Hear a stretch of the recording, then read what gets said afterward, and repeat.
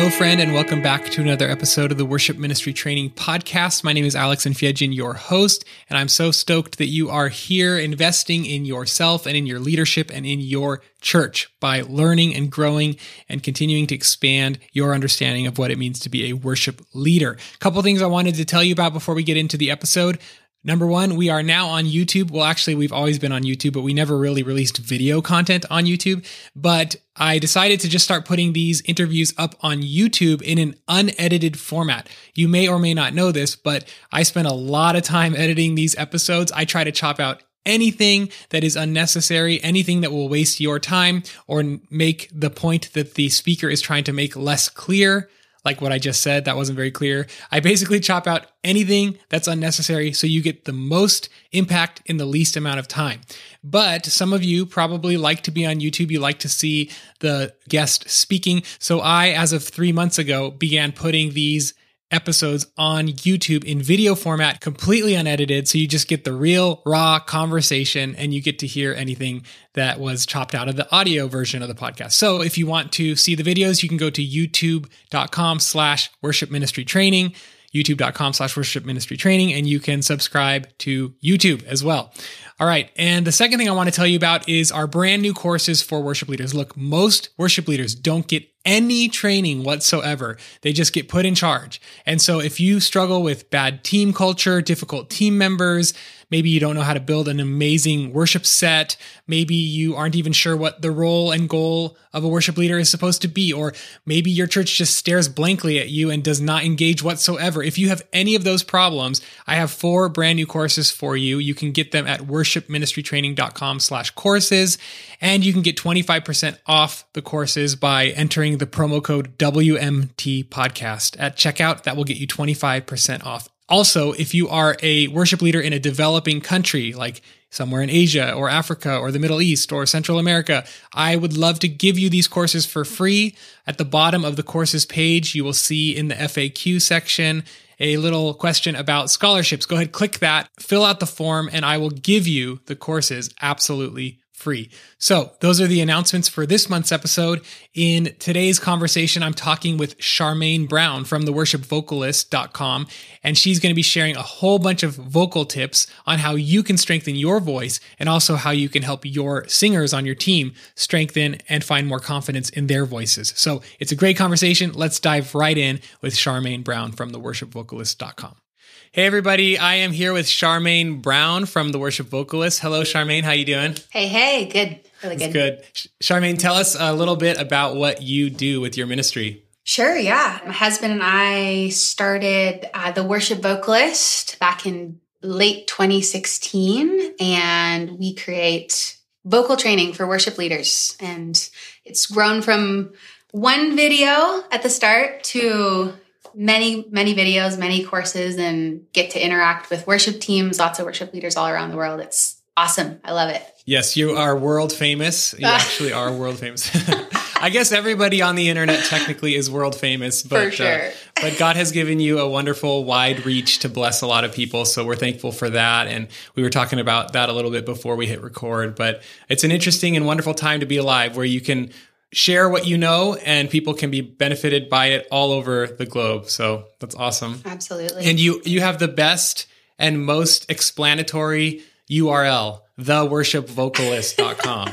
So everybody check it out. It's a beautiful website and it explains exactly what she does. She teaches you how to be a better worship vocalist. So that's what we're going to be talking about today. We're going to be talking about singing. We're going to be talking about how to improve our own singing.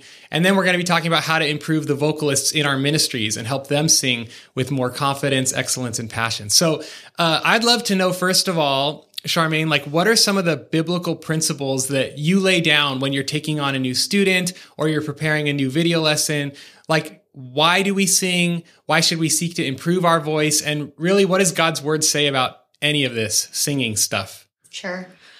So, I mean, the Bible refers to singing pretty much nonstop, right? There yeah. are over 400 reference to singing. It commands us to sing over mm. 50 times. Psalms is literally, it's a book of songs, right? Mm. Um, Psalm 33 tells us to play skillfully. I think that applies to our voices as well, right? Our voice as an instrument. Mm. So, so important.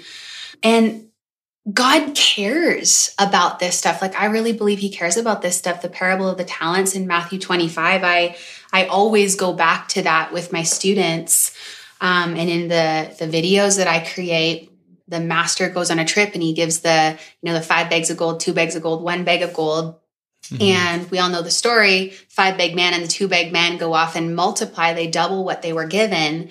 And the one bag man just what's interesting to me is that he doesn't squander it. Like he doesn't mm. lose it, right? But he doesn't multiply it. He just, he mm. doesn't do anything with it. And the master returns and is very upset with him and calls him wicked and lazy mm-hmm. um, because he was not a good steward with what he was given, right? Yeah. So um, that to me says that we have a responsibility to be good stewards with what uh, with what God has given us, with our skills and our talents, and to not just seek to maintain, but to multiply it, mm. right? So that's what I'm always, you know, encouraging my students and my subscribers to to not just settle for, you know, the default of what your voice does, to not just settle for, yeah, you know, my voice flips, it cracks, it breaks, it hmm. uh, whatever, I have this amount of range. Do I think that everyone needs to improve their voice? Absolutely not. Do I believe God loves loves your voice as you worship? Yes, absolutely he does, but I'm talking about worship leaders and worship vocalists specifically. If we hmm. are leading people on stage, we have a responsibility to multiply our skill um, and our talent. And I've been reading through, as many of us do at the beginning of the year, start over at the beginning of the Bible, right? Cover to cover. And I, to be honest, in many years past, I've kind of flown through some of those early books, you know, uh, Exodus, Leviticus, Leviticus. Numbers. yeah, really kind of quickly. And this year, you know, these past weeks, I've really been intrigued reading, like just reading the the detail about the building of the tabernacle and mm-hmm. Just so much detail and God cares about this stuff. He cares about beauty. He cares about intricacy and it's all for his glory. Mm. And I believe that what he intends to fill with his glory, he cares that it be glorious. He cares that it be beautiful. He cares that mm. we spend time with that. And he wants to fill our voices with his glory, right? He wants to fill our bodies as we lead worship with his glory. So yeah, so that that's what I always go back to in in encouraging my uh, my students and subscribers that God cares about this stuff. It's not for our glory. It's not for our fame. It's not so that we can hit high notes or low notes or whatever. It's because He cares about us being good stewards of our instrument. Mm. That is such a great answer. And I've also been in those books too, as, as I've been going through the Bible again for the new year. And I, I, was struck by that as well, that he wanted the skilled craftsmen to build his temple. Yeah. You know, he wanted people who were skillful in their craft to build it. And, you know, it says in scripture that God inhabits the praises of his people. So in, in a sense, whenever we are leading people in worship, we're building a temple of praise and we want to build that temple skillfully, you know, so very interesting, very intriguing. Now, everybody has a voice, right? Yep. And so everybody's commanded to use that voice to glorify God, just like we're called to use everything to glorify God. Why do you think the voice specifically is such a powerful tool? Sure. Uh, so I mean when it when it comes down to kind of just the core basic of it, singing is vibration, it is sound frequencies. There've been so many studies on how singing is so good for our health. It's so good for our well being. It boosts our mm. immune system. And it's a powerful thing to sing, to actually, uh, for our vocal cords to be vibrating, for our body to be vibrating that way. And it's also powerful to be sung over. Hmm. Right? It's it's all vibrations. We can't see them, but it it is happening, right? Like that's how God created um, it, I think singing, you know, the, the voice and singing in the context of worship and congregational worship, you know, songs are powerful because they help us remember words, right? Melodies are powerful because melodies with lyrics together helps us remember the word of God, right? Worship songs. It amazes mm-hmm. me. You know, Jason and I, my husband and I both grew up uh, in the church. And so, you know, we know all the the oldies, the old songs, and sometimes yes. we'll just get on these tracks where somebody will start. One of us will start singing an an old song, and then we'll just kind of go off on this. That reminds me of that one, and we just kind of medley. And it amazes me that some of these songs I literally probably haven't thought of for 20 years. Mm. 20 years. And I know every word and I know every bit of that melody. Like how how does that work right? Like but mm-hmm. our brain has the capacity to remember things that have been put into song. Um and our, our voice and our brain have muscle memory for that right? So mm. yeah it's it's a powerful thing. Yeah that's so cool. And i've heard stories of like you know, people with Alzheimer's and they're in bed, they can't remember anyone around them. But when you start to sing Amazing Grace, all of a sudden they come awake, they come alive. I've seen a video of it on YouTube. Yeah. And this guy's singing Amazing Grace every word, you know, and so you're right, it's so powerful. And I was just thinking too, like, our voice is what we use to express what's in our mind and in our heart too. So I think that's why it's powerful also because that's the only tool like a guitar. Yeah, you can express kind of your feeling, but you can't use words with a guitar, you know? So your voice allows you to say to God and to others like what's inside of you. And so that's that's just thought. It's, it's the it's the only instrument that is it is a body instrument. It is our whole body, mm-hmm. right? Which yeah. is is powerful because like you said, it it can express our innermost being, right? We mm-hmm. we actually express it with our body. It comes out of us.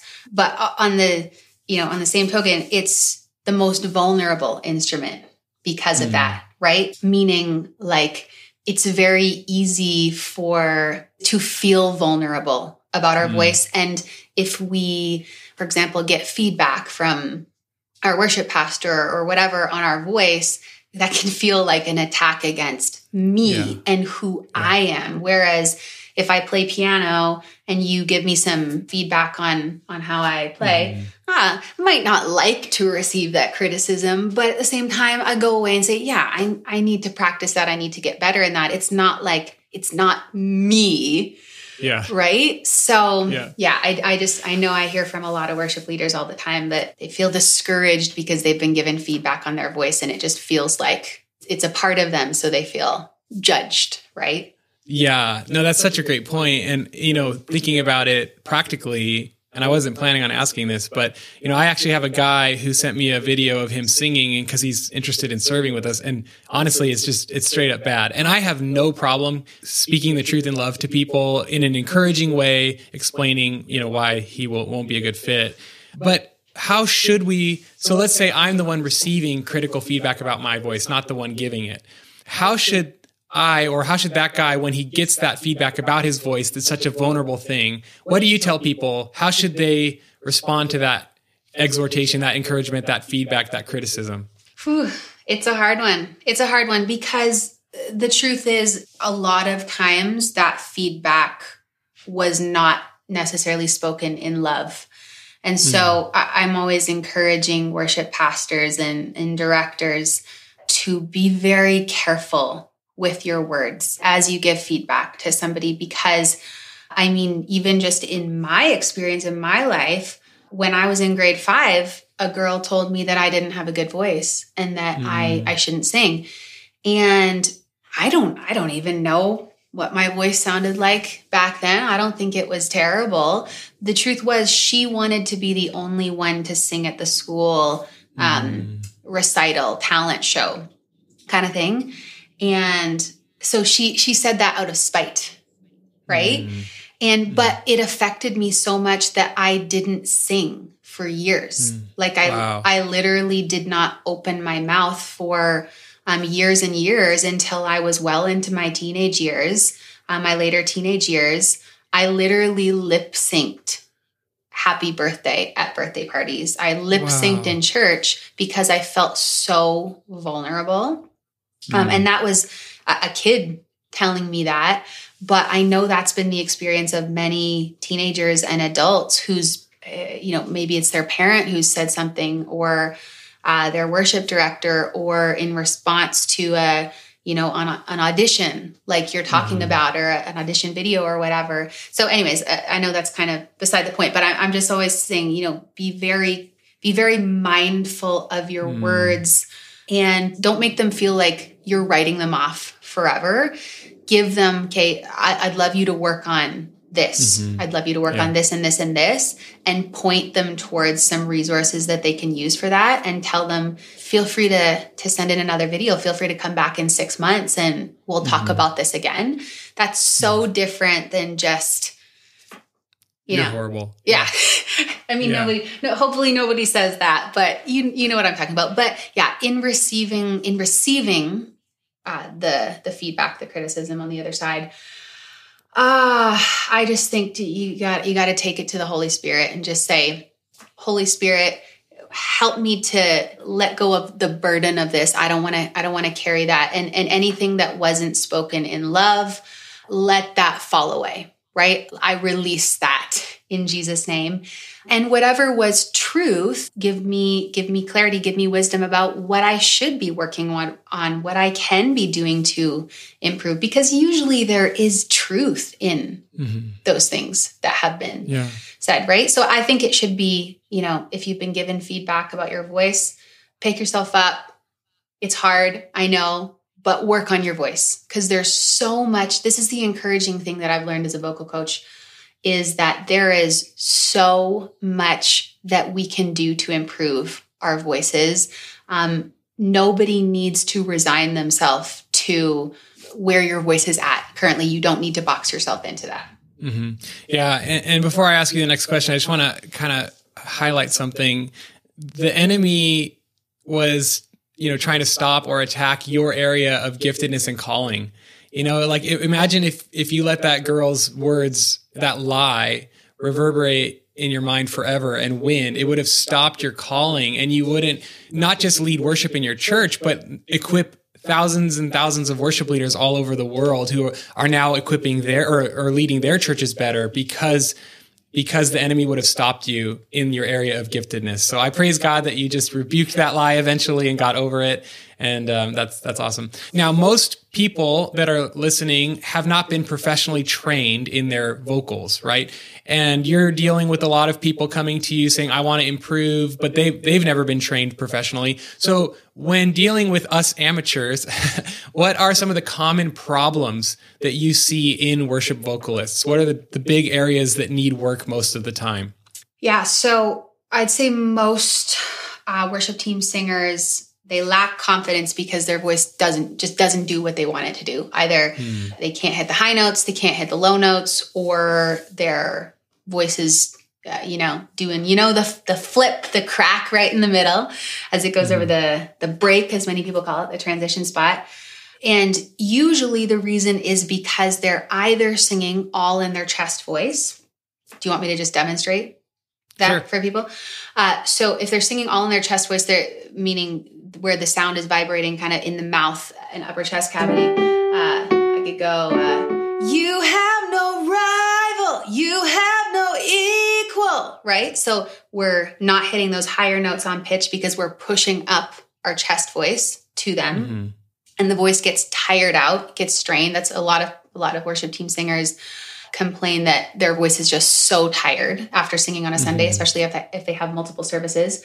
Other singers they're okay with the high notes, but the low notes get weak. Uh, you have no rival, you have no equal. Of the name of Jesus Christ, my King. They can't get down there because they're mm-hmm. keeping the sound. It's opposite from chest voice. They're keeping their sound all up in the head cavity. Mm.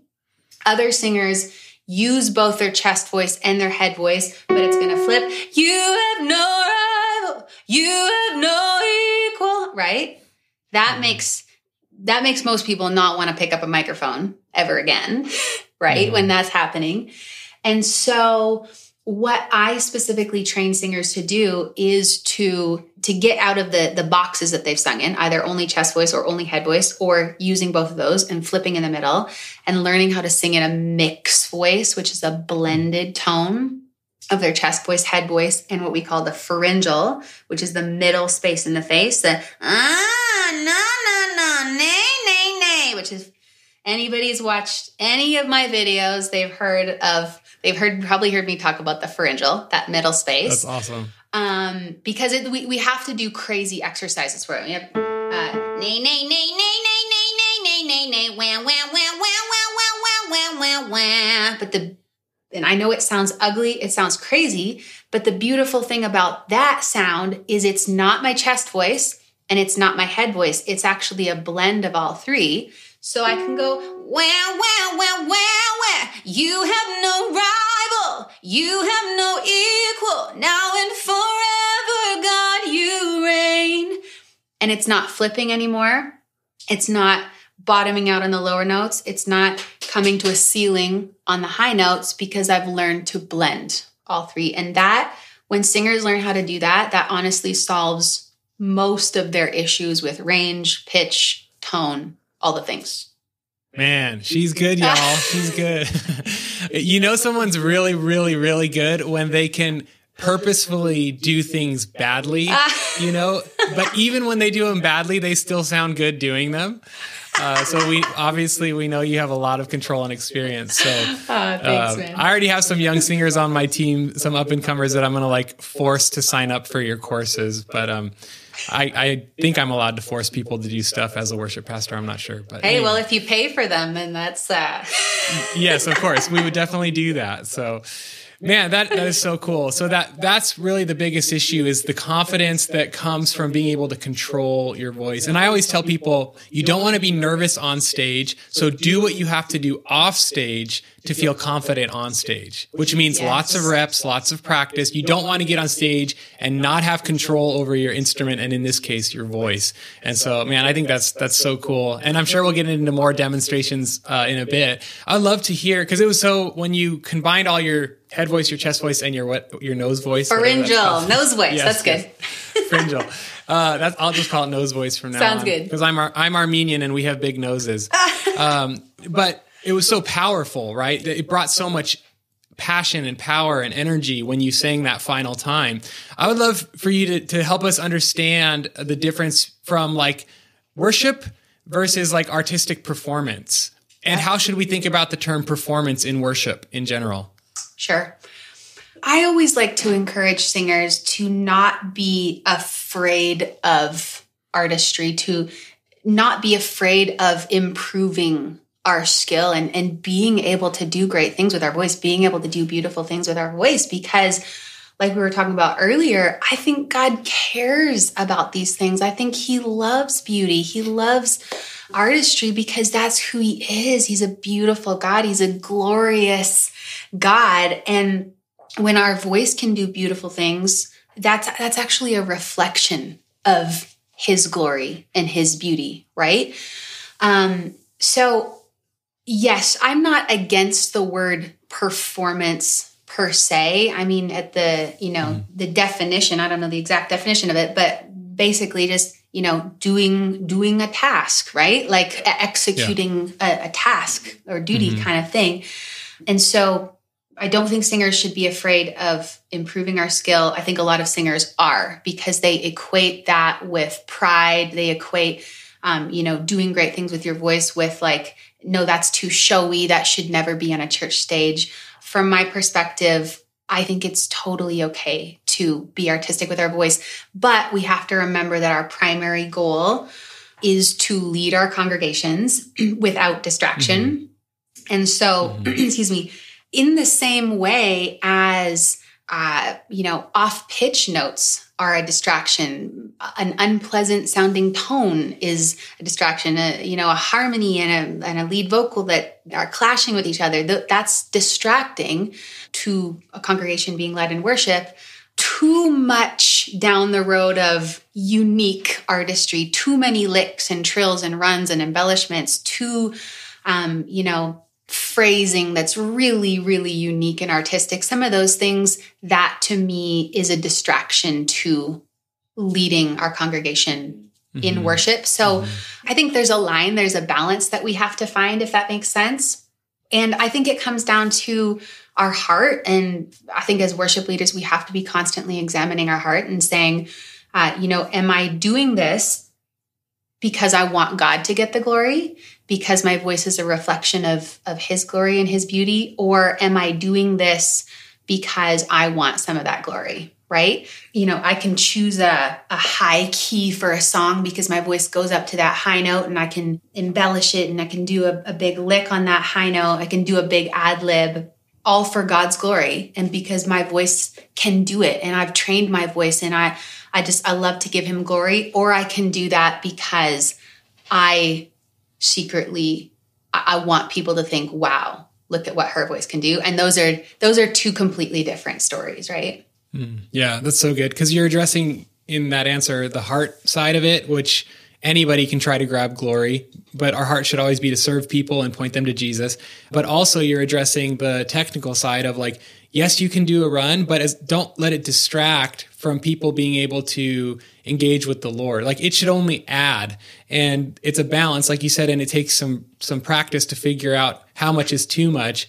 In one of my courses, and this is not a like a plug or anything, but like I do talk about what it means to sing simply we want to sing simply because we want to give the congregation a track to follow. Like it's easy yes. for them to da da da da da follow along. But we also want to add the embellishments that do evoke more emotion and more passion. And you know, there's different ways to do that, like embellishing the end of a note so that you know there are they've already sung the note and you're embellishing the end of it and other things like that. So Absolutely. You can check out the you can check out the courses later, but and you should definitely check out Charmaine's courses because they're way better than mine. No. Um, okay, so yes, they are. I already know for a fact. Um, but let's talk about this. What are some things that we can do? We'll talk about our own voice, and then we'll we'll move into a time of talking about our our singers on our team's voices. Sure. But let's first talk about ours. What can we do to improve? And strengthen our voice? Like easy mm-hmm. to do, often overlooked things. What are some things we should be doing to improve and strengthen our voices? Yeah. So, first of all, warming up on Sunday mornings. That to me is that that's a non-negotiable for all worship team singers should be doing it. I hear a lot of people say, "Well, I've never warmed up and my voice works just fine on a Sunday morning." Okay, but it might not work long term. Honestly, it, mm. I've, I've known so many worship leaders, worship pastors who they didn't take care of their instrument, they didn't take care of their voice, and uh, they thought it was all working fine. They thought it was, you know, maybe my voice just gets a little bit tired after a Sunday, but then all of a sudden their voice just gives out on them, and they have to.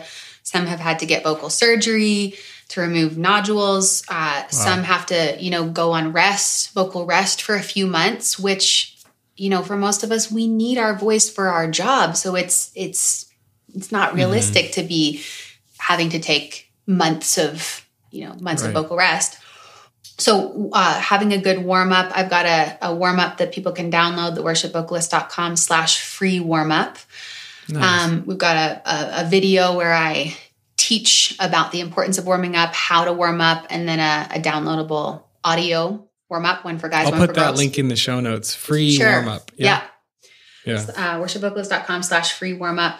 Uh, so warming up the voice, that that's the most important thing people can do just for, cause it's, it's not where most of us, we sing on Sunday mornings. That's not easy on the voice. Singing early in the morning is not easy on the voice. So we have to take mm-hmm. extra care of our instrument.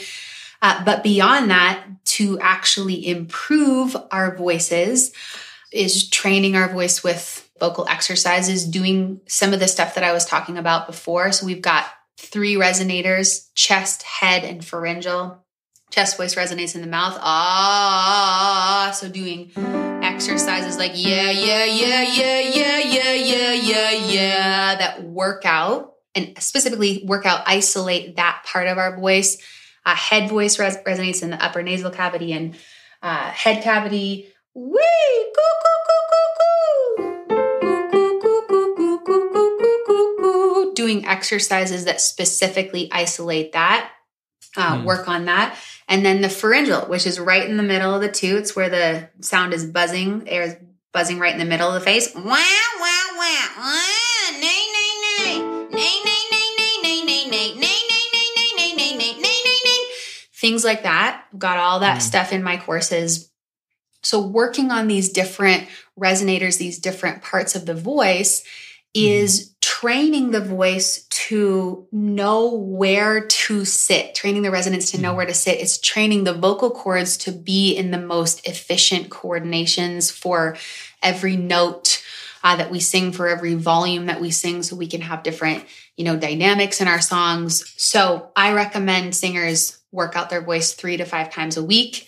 Voice mm. works very similarly to other muscles in our body. Our, our muscles, God designed them to respond to exercise. So when we, if you go to the gym consistently and you're eating right and, you know, doing all the things, mm-hmm. you can expect your body to go through a transformation. You can expect mm-hmm. your muscles to get stronger and respond to that. If you work out your voice using strategic exercises, there's no way that your voice will not improve and strengthen and be able to hit higher notes and lower notes and be able to mix uh, resonators like I was talking about to get that powerful contemporary sound. So, warming mm-hmm. up, working out the voice, those are, I'd say, the two. The- two big things the biggies yeah. yeah. pray and read your bible it's yeah. always it's always back to the basics right exactly yeah. now what about learning to find your own style or your own tone like by listening to other singers and mimicking them or like what would you say about some of that stuff? Yeah i think i think uh, learning to you know listening to other singers learning to mimic people i think that's a really important part of our our journey as a singer some people think, oh no, I, I don't want to mimic other singers. I, I, just want to find my own unique style. But actually, the the listening and, and forming our opinions and and even trying things out in our voice to see wh- what can my voice do, what kind of comes naturally to me, what doesn't come naturally mm-hmm. to me. Um, I think that's really important. I think that our end goal should never be I want to sound exactly like Kim Walker. I want to sound exactly like Kari Jobe. I don't think that's a healthy perspective to have, but you know, I can say I'd love to have power in my voice like Kim does. I'd love to be able to hit those high notes like Carrie does, like kind of picking different things mm-hmm. and, and, strengths of singers that we love to listen to and love to mimic and, and saying, I, I'd love that. I want to train my voice to do that. Yeah. Yeah, I agree. They are Kim Walker Smith and Kari Jobe. You are you. Be you. Yeah, totally. Exactly. Uh, that, that's good. So let's switch now to our ministries, to our people that they sing background vocals or or they lead a song or two.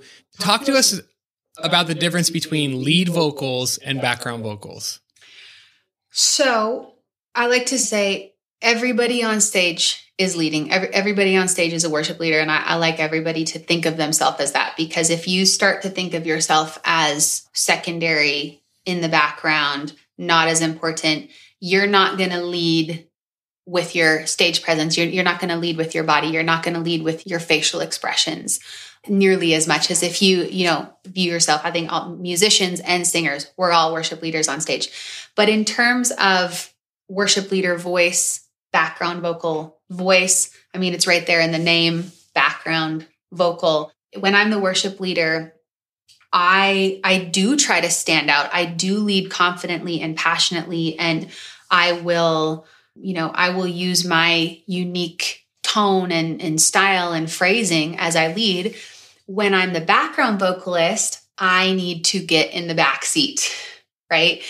Um, mm-hmm. and actually not use my unique tone and style and phrasing and vibrato, but aim to blend in with the worship leader. So we always, as, as background vocalists, we always have to be listening very, very intently to the worship mm-hmm. leader's voice because everybody has different voices, right? So um, and even this resonance stuff I was talking about, that is what makes every singer's tone sound different from one another. Mm-hmm. Somebody like we were talking about Kim Walker Smith, hers is a more chest dominant mixed voice tone, whereas Kari mm-hmm. Jobe is a more head voice dominant mixed voice tone. If that mm-hmm. makes sense. And so if I were singing background vocalists, you know, in different sets behind either of them, I would make my voice sound very different behind them. Mm-hmm. Behind Kim, mm-hmm. I would sound more chest dominant with my harmonies, right? I would get that fuller tone. Behind Kari Jobe, I would lighten it up a bit more. I would allow more head voice into my tone so that I can blend in so that my voice doesn't stand out. Mm. Um, so that's tonally. Um, other things like phrasing, we, we have to be listening to when are they coming into their words, when are they coming off of their words not using a lot of S's and hard consonants as background vocalists, you know, sometimes not even fully forming the ends of our words. Because if we mm-hmm. have too many singers singing the that can be distracting. Vibrato, you know, singing generally background vocalists singing with less vibrato because when we have multiple vocalists singing ah, with a lot of vibrato, right. that can clash.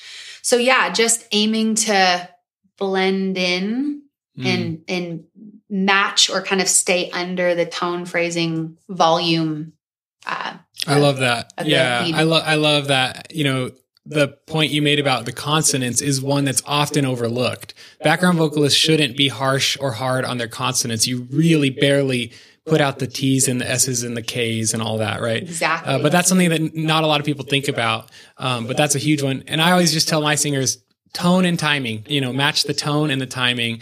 Um, but you, you said all that very well. Now, what about building a song as a background vocalist? You know my worship leader is leading a song. When should i come in? What should i sing? How do i build a song dynamically? You know we don't want people singing the whole time um, but we also don't want them only coming in on like the chorus. So how do you teach background singers to know how to build a song? Maybe their worship leader doesn't give them much direction so how should they approach that? Right I would love for this to become more of the culture of teams to be talking about this stuff. And if your worship leader doesn't give you direction, ask.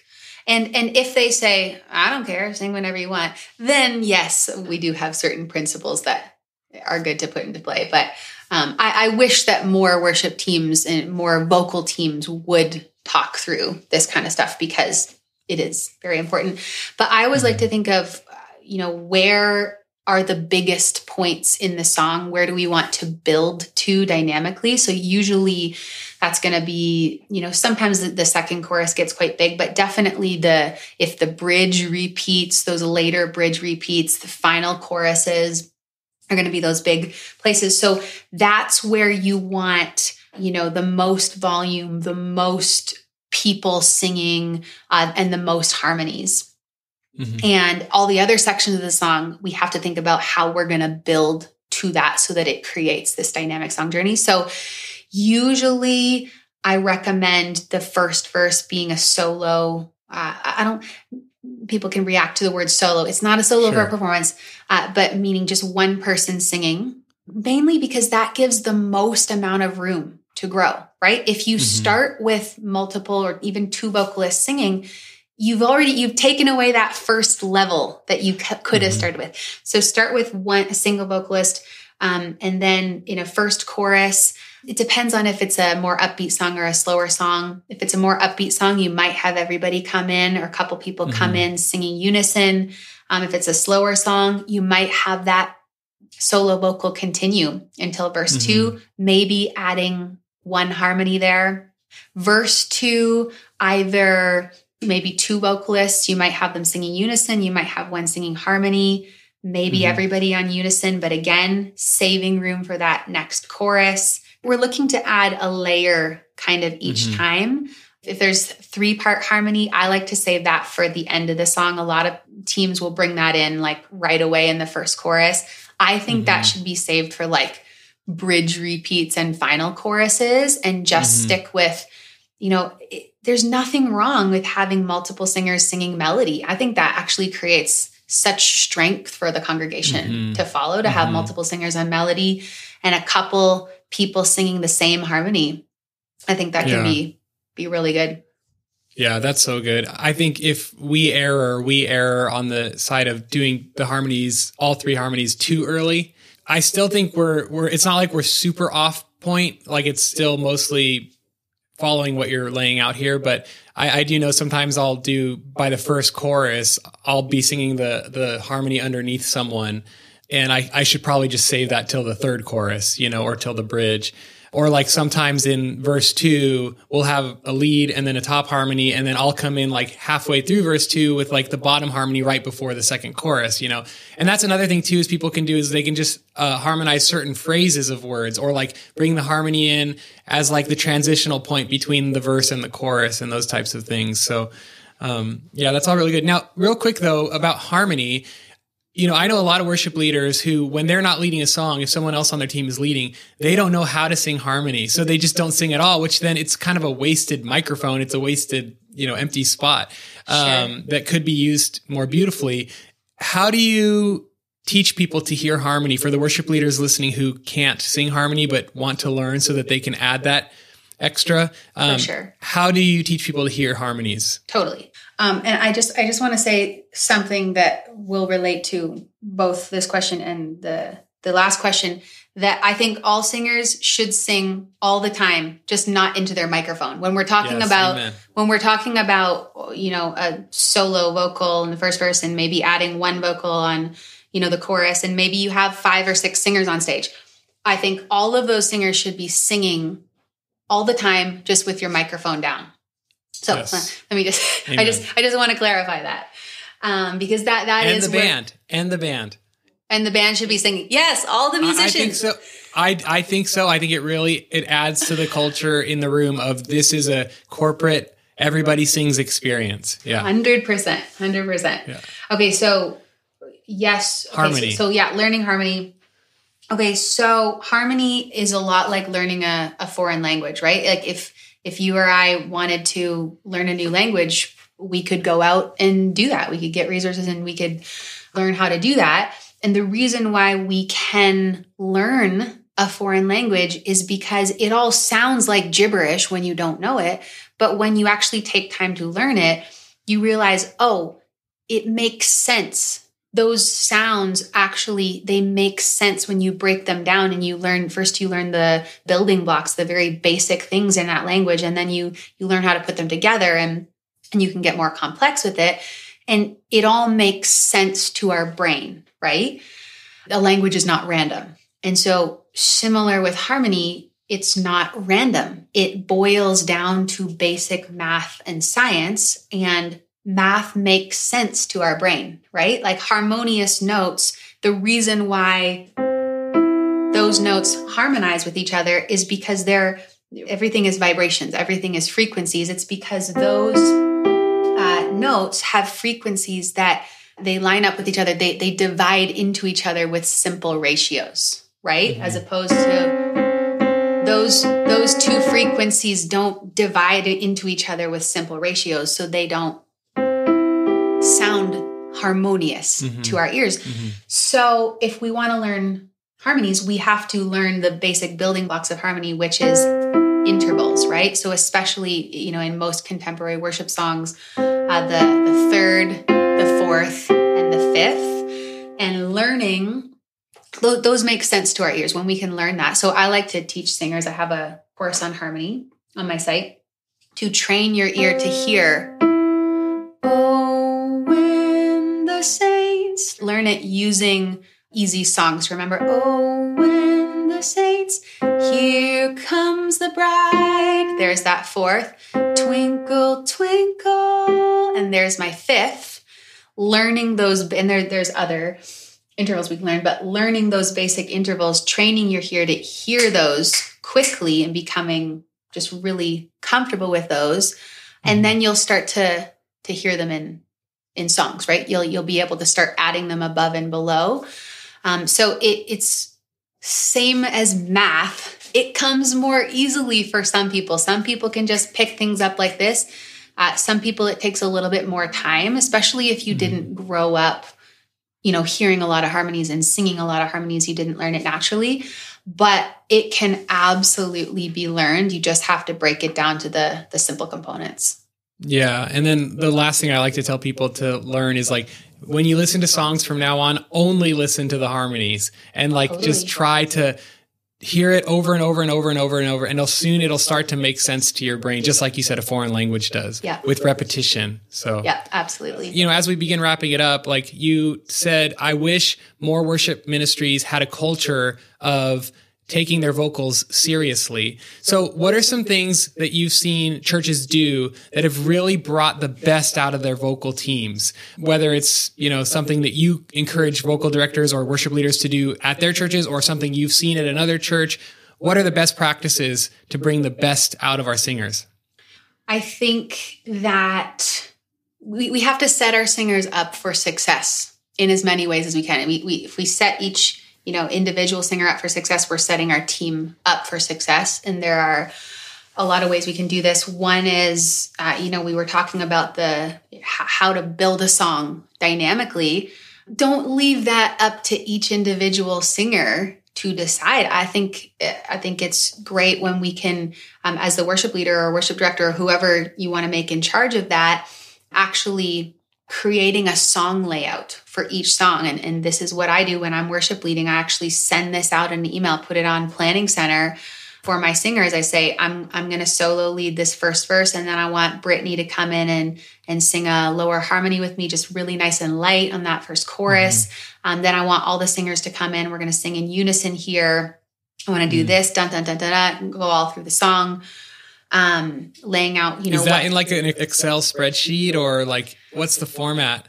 or is it just a, a, text message or usually, yeah, usually just a, just a, not, not like a spreadsheet or anything. I just usually in an email or just on a, like a PDF kind of thing. I'd love to. I mean, do you have the, like, is it on the lyrics sheet? Oh, like, is there a, no, I haven't, or, I haven't done it on, I haven't done it on the lyrics. I've just kind of written it Just out. Tell like, them what to do. Yeah. yeah. Okay. Yeah. Got it. I think you could get as complex as you want to, but the truth right. is most vocalists aren't used to getting any direction at all. so yeah. uh, just kind of easing them into it. So having a plan and communicating that plan, mm. um, reminding them of that, um, and and don't be afraid to be detailed. Right, like it helps people prepare yeah so so setting them up for success with that also setting our singers up for success by knowing their voice and giving them if if we're assigning songs for a person to lead or if we're assigning a key for a person to lead in setting them up for success by knowing what their voice does best and putting them in their sweet spot right like if mm-hmm. if a mm-hmm. singer's you know maybe they haven't trained their voice to sing super high yet and you give them a song that's out of their range, they're mm-hmm. not going to have a lot of confidence in leading, right? Like put mm-hmm. them put them in their sweet spot, put them where their voice performs best.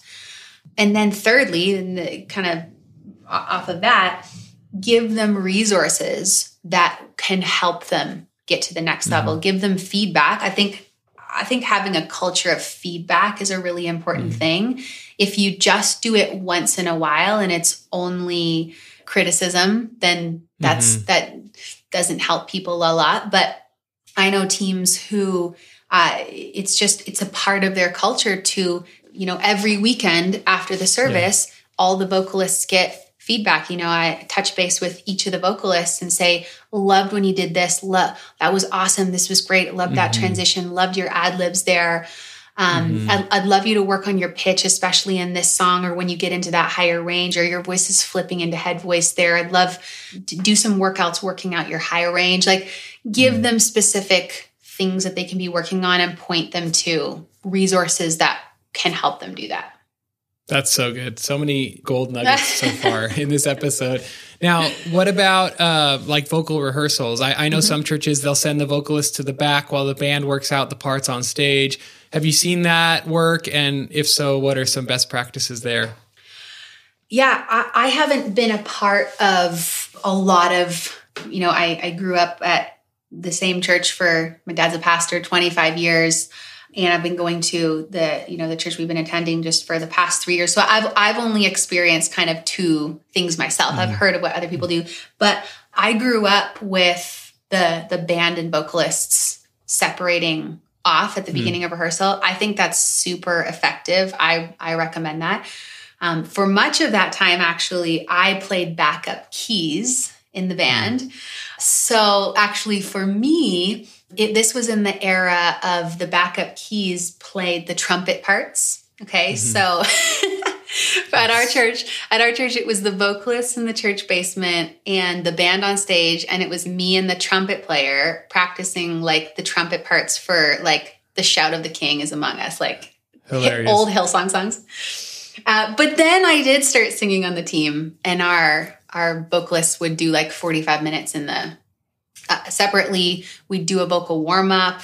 It's great if you can get your vocalists, encourage them to warm up before they come to rehearsal. But a lot of people I find, if it's a weeknight, they're coming rushed maybe from work or from supper. So taking 10 or 15 minutes to do a vocal warm up and, and, mm-hmm. and together, and then you can kind of make sure people are kind of hitting on these different points in their voice, even use it as a teaching moment. Mm-hmm. And then spending some time going through the different harmony parts and and talking again through the the song layouts and stuff, I think that works super well. Yeah.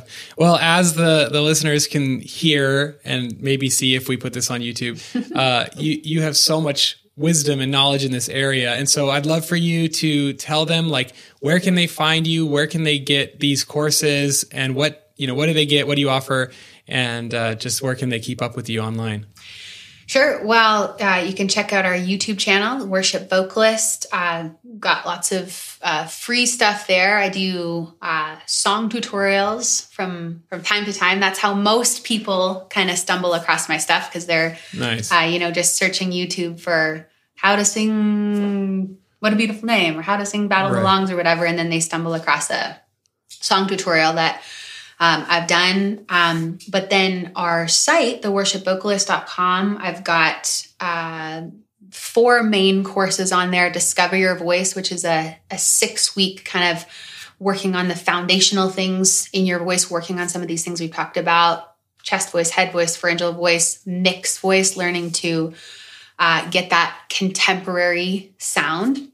Mm-hmm. Um, Master Your Voice is a, a 30 lesson course that builds on discover your voice and and really works at mastering that contemporary mixed tone and gets into things stylistic things vibrato uh, how to embellish phrasing all that kind of stuff finding your unique tone got a vocal mm-hmm. health course taking care of your voice uh, harmony essentials for worship course which does all the things that we talked about like learning intervals learning those building blocks learning how to apply them to songs. Um, yeah, and and for each lesson, there's the I've got a video lesson and then a, uh, an audio workout that you can do. I recommend three to five times a week. You can just follow nice. along. It's got the the scale, so you can just there's no excuse. The demonstrations. I've got Jason, my husband, did all the suckered him into doing the male demonstrations for me so nice. that guys can hear kind of how it should sound in their voice. And yeah,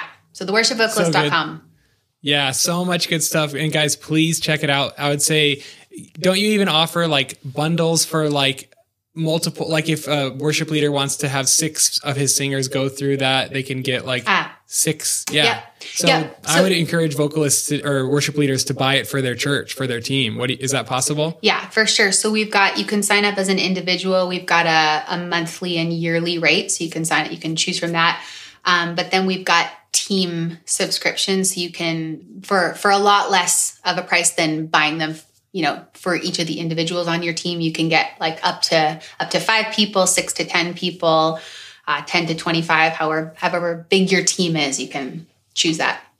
That's so good. So everybody go to theworshipvocalist.com and and sign up today. I know you've been talking for a long time and you need to take a sip of water, but do you have any final words for our listeners? Oh, yeah, I think I said this before, but just don't box yourself into where your voice is at. Don't be discouraged. I know a lot of singers, especially these days that uh, you know, a lot of churches have gone online, and it's been a really discouraging thing for a lot of singers to, you know, if if you're doing live stream or you're doing pre-recorded sets or whatever, um, a lot of singers have not really taken the time to or not not taken the time but they've never really heard their voice much before except just singing live in the room and it can be really discouraging and a really weird strange thing to hear your mm-hmm. voice back you know over the, mm-hmm. the live stream um, and just a lot of singers just uh, have told me they just they feel like quitting they feel like giving up because their voice is it, they don't like the way that it sounds. Um, but don't box yourself into that. Don't resign yourself to, um, you know, I only have a small amount of range. I can't hit high notes. I can't sing this song. I can't do this or that because mm. uh, I've seen it in my own voice. I think this is probably one of my biggest strengths as a coach is that I didn't grow up singing. I didn't grow up wanting to be a singer or a worship leader or, um, you know, have any big desires. I didn't go to school for music. I, like, and when I did start singing, um, was because my my youth young adults pastor kind of pushed me into it a little bit. But when I did start singing, I had a very weak voice. It did not do what I wanted to wanted it to do. I I don't have a lot of natural talent. I know a lot of singers who have a lot of natural talent. I am not one of them. I have built my voice from the ground up. And that's mm. why I know it can be done because I didn't start with a lot. I didn't start with being able to um, do a lot of this stuff with my voice. I worked on the basics, I worked on the foundations, and have seen incredible things in my own voice and in my students' voices. So I know it can be done for you. We believe. Woo-hoo. Thank you, Charmaine. Thank you so much for welcome. your time and your wisdom. I know you've helped a lot, a lot of worship leaders. And hopefully, worship leaders, I'm going to tell you send this episode to your singers. Please send it to your singers. Help them improve. Okay. Awesome. Thanks, Charmaine, for your time. Appreciate it. My pleasure. Thanks, Alex. All right, that's it for this month's episode. I hope you were helped by it. If you were, please help us by sending it to every singer you know. Anyone who sings, send them this episode. Tell them, hey, you really should listen to this. Also, be sure to check out the courses to help you be a confident, excellent, and successful worship leader by going to worshipministrytraining.com slash courses and entering the promo code WMT podcast at checkout to get 25% off. All right, God bless you guys. I will see you next month for another helpful episode. See ya.